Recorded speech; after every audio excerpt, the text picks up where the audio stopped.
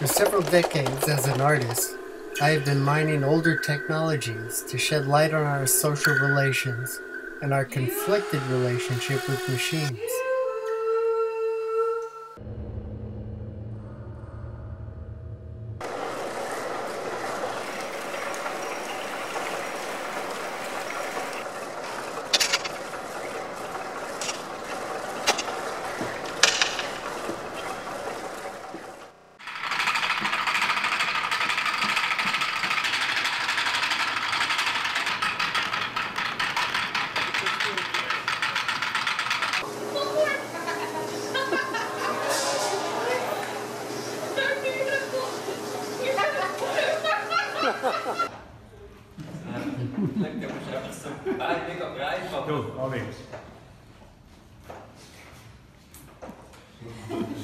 In 1994, I discovered the 19th century pneumatic physiologies of Etienne Jules Marey. One of Marey's innovations was the earliest cardiovascular imaging. And medical imaging saved me from an aortic aneurysm in 1995. This personal connection to Marey's work led me to make a multi-chambered heart simulation. And during the following decades, my art installations explored Marey-style measurement extended to measuring participants' social interactions, most cogently with conservation of intimacy.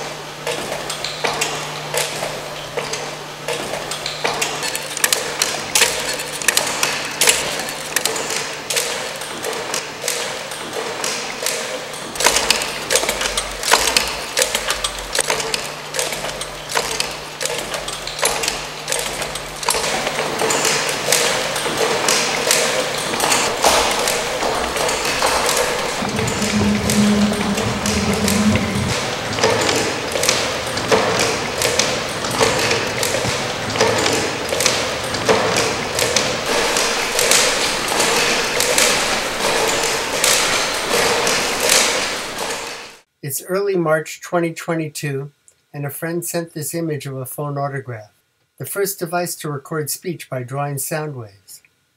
Would I be interested in getting it to work? This was only a visual replica, and I wondered what factors were most critical to get it working. On the internet, I found the patent drawings of the inventor, Edouard Leon Scott de Martinville. He used a sheepskin's membrane a boar's bristle stylus, and what looked like a large funnel. Many of the images I found use wood barrels. If I had to make a wood barrel to get the proper horn, I might as well make my own phonautograph from scratch, I figured. The Victrola guy managed to make a replica work. In one video, he mentions that the barrel was lined with plaster. A quick glance at another video and thinking of an aluminum scrap I might use, I guessed at a size and started to build. But I guessed too large. In making art, my basic technique has been to plunge into a project, and as I work without plans, I keep making mistakes until one of them opens up possibilities that I can run with. I guessed the wood barrels protected the plaster and the elliptical shape had some significance acoustically. I tried to cut the curved wood boards directly with this jig. It didn't work. But at least I made a marking template.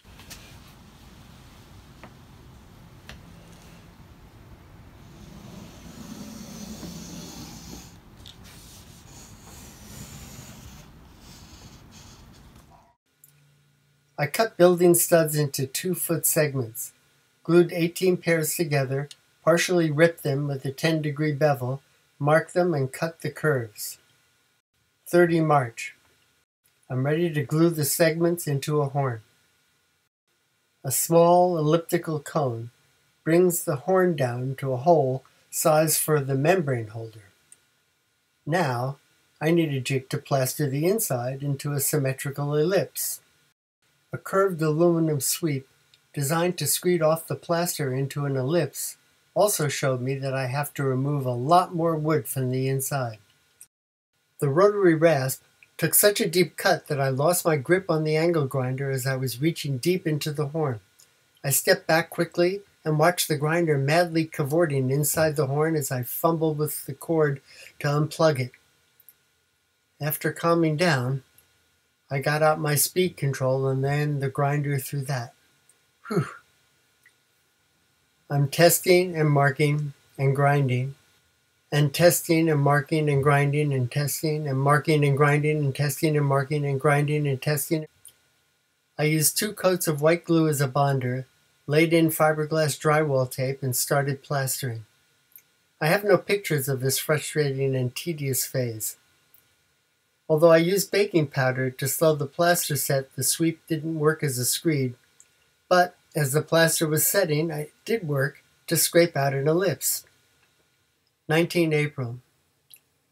The wood absorbed water from the plaster and expanded. The plaster shrank as it dried and pulled away from the wood. The wood didn't shrink. To fill the gaps, I injected a foaming urethane adhesive. Why did I take this on? It's been over a month of frustration, and I still don't have a horn. I should have made an elliptical core I could plaster over and then cover that with a wood barrel. So I wasted even more time and effort making a better sized smooth core. But it was too late to start over. I added front trim to the horn I had. 7 May. These membrane holder components allow quick changes and adjustable tension. Not knowing what was essential, I thought I might need adjustability. The entire unit attaches to the back of the horn. I need a drum. I have 4 inch pipe in plastic and iron, but nothing in the shop is larger. I only need a foot of 6 inch or larger pipe, but the suppliers are selling it in 10 foot sections for $400. I do, however, have a hollow decorative pine column with a 6 inch base. 12 May. What the hell? I'll make the whole damn thing out of wood. Because the column was tapered and the glue up was terribly asymmetrical, it was hard to center the end caps. But I finally got it. Now, I'm turning and sanding and painting and turning and sanding and painting and turning and sanding and painting and turning and sanding and painting. I had to keep removing most of the finishes I had tried and finally settled on a lacquer to get a lot of coats in a few days. 31 May. I added a balance point yoke, another for the elevation screw, and a link pair of maple horn supports. 4 June. The final shaft and bearing system. I raised the horn, made a handle, raised bearing supports, and found a plywood panel to mount everything. 7 June. This is when I heard about Dyma, and because my parts look so much like the engraving, I sent in a talk proposal. Huh! Like Ruth Brown saying, I think I made my move too soon. 9 June. I couldn't reach the drum crank while speaking into the horn, so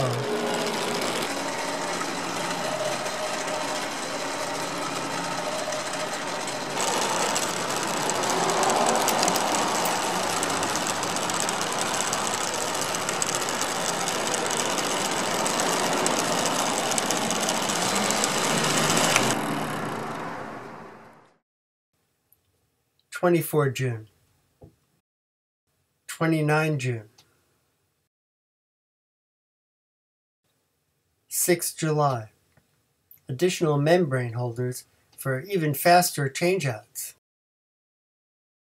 6 July.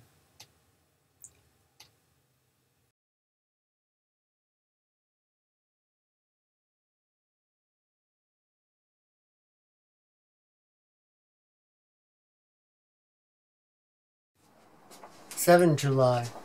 Hello? Hello? Hello? Hi? Yes? No? No? Yes? Yes? Despite Despite several attempts yelling into the horn, I strained to see evidence on the smoked paper. Except for these blips. Maybe they are audio waves, or maybe buckled paper. We'll never know, because the paper smoking had melted the lacquer and glued the paper to the drum. And now I'll have to refinish the drum. And make a new one, just for smoking the paper.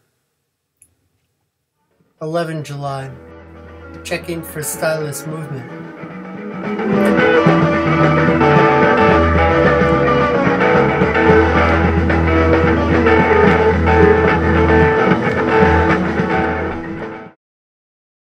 Twenty July. The third paper smoking took two hours.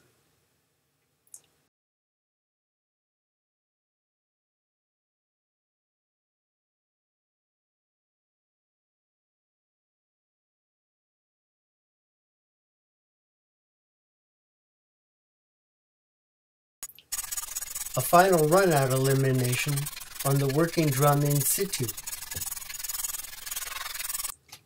21 July.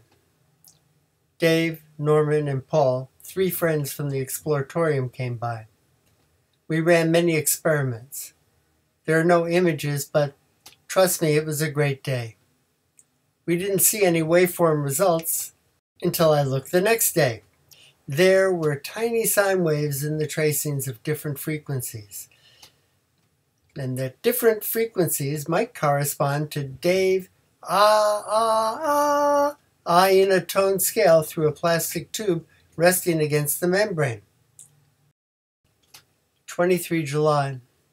I made up some different membranes, tried a dial gauge on a membrane, a tone generator playing through a speaker in the horn, and taped tracing paper to the drum installing a drum skin center membrane and a thicker lateral stylus, I was ready for the next test. 25 July. Second test.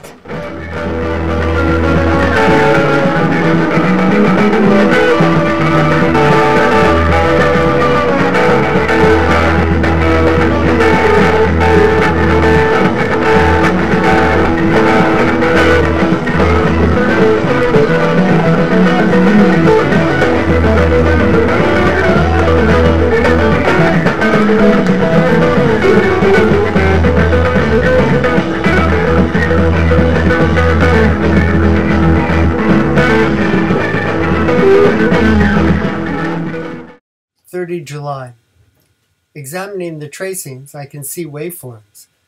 But, as Paul pointed out, they are uniformly sinusoidal and are likely to be just the resonant frequency of my apparatus. Besides, their amplitude is disappointingly small. 2 August. It's been five months and little to show. I wheeled the phonautograph outside for a last test and some sunshine.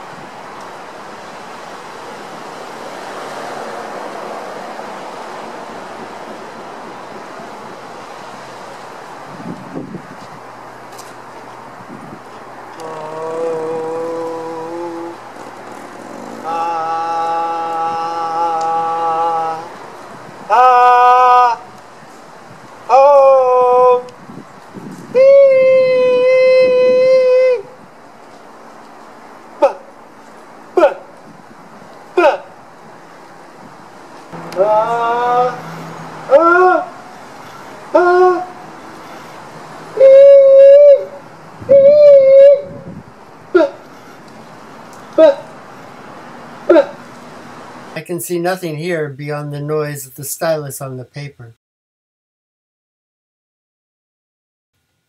I certainly made plenty of mistakes on this project, but nothing I could use for a socially interactive artwork has emerged.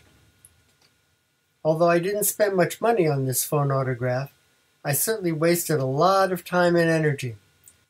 And the few tracings I got are nothing like what Scott submitted to the Society for the Encouragement of National Industry. This phonautograph is not typical of my art projects. I was attracted by Scott's effort to measure meaning in images of speech. Then I got lost in the frustrating obsession to reproduce some of Scott's results. Most of my previous work has focused on social interaction, and the phonautograph is a largely solitary device. I never got the technology to work well enough to suggest anything meaningful for me. So I'm going to pack this project away, but I'm not sure where. I don't have any room left in storage. Maybe I should try a smaller membrane first.